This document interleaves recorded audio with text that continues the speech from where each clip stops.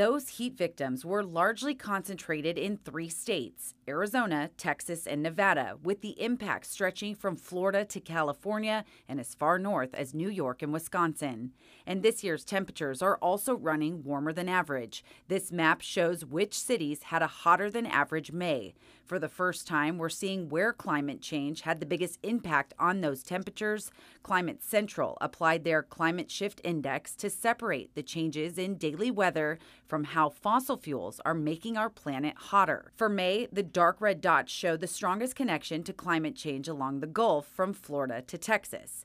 Climate Central also says some of the most impactful changes are happening at night. Nighttime warming uh, is a fact just about everywhere, and that has a really important health consequence, right? It's, you know, you don't get an opportunity to cover from the heat of the day. You know, we know that we can open the house up at night, turn the fans on, and you get the cold air in there, but if it's still hot outside, that's it, one of the things that can turn an environment from one where you don't need air conditioning into one where you really do need it. And we have a lot of places in the country where they haven't needed air conditioning, and we're we're gra- we're definitely pushing them into conditions where that is something that they need.